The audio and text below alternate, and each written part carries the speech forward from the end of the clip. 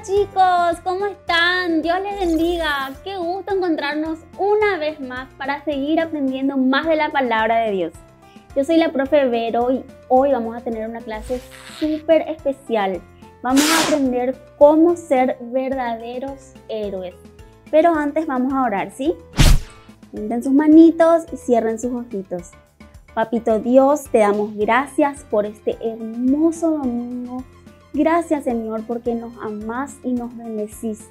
Te entregamos Señor nuestras vidas y la de nuestras familias. En el nombre de Jesús. Amén. ¿Qué son los héroes? ¿Cómo son los héroes? ¿Qué hacen los héroes?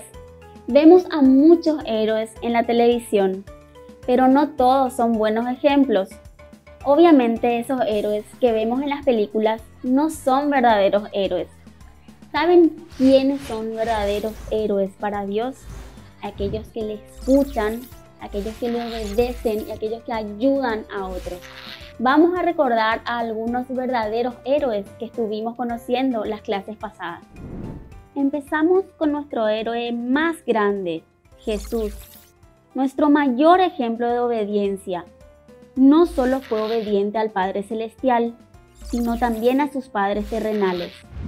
También Abel, que dio a Dios la mejor ofrenda que tenía, la ovejita más limpia y pura de todas, tal como Dios le pidió. Y Noé, cuando obedeció a Dios y construyó el gran arca porque Dios le había dicho que vendría un diluvio. Abraham y Sara obedecieron a Dios a pesar de la difícil decisión de dejar su hogar y se fueron a la tierra donde Dios les había indicado. ¿Se acuerdan de Elías? Él construyó un altar a Dios, aún estando solo en medio de sus malvados enemigos. Y David, cuando tenía enfrente a su enemigo Saúl, decidió no matarle porque obedeció a Dios. Daniel oraba todos los días a Dios y le obedecía solo a él y a nadie más. Por eso Dios le salvó de los leones.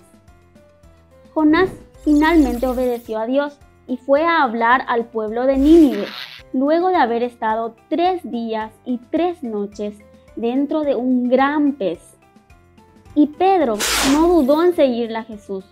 Luego de ser pescador de peces, se convirtió en un pescador de hombres. Dorcas fue una mujer tan bondadosa, ayudó a todos los necesitados que tenía a su alrededor. Y por último, Saqueo, un hombre que cambió su vida luego de recibir a Jesús en su casa y devolvió aún más de lo que había robado antes. Todas estas personas son ejemplos de verdaderos héroes. Jesús espera que vos seas un verdadero héroe. ¿Estás listo? Yo estoy segura que todos los niños que están viendo este video son pequeños héroes verdaderos, porque ya saben lo que tienen que hacer obedecer a Dios. El versículo clave de hoy está en Salmo 119, 67, que dice, ahora obedezco tu palabra. No se olviden de descargar sus trabajitos y de mostrarnos cómo quedaron sus super máscaras de superhéroes. Pueden pintar con lápices de colores o decorar con lo que tengan en casa. Pueden pegar al costado un palito de helado o agujerear ambos extremos y atar una gomita. Listo. Bueno chicos, terminamos la clase de hoy y antes de despedirnos vamos a orar.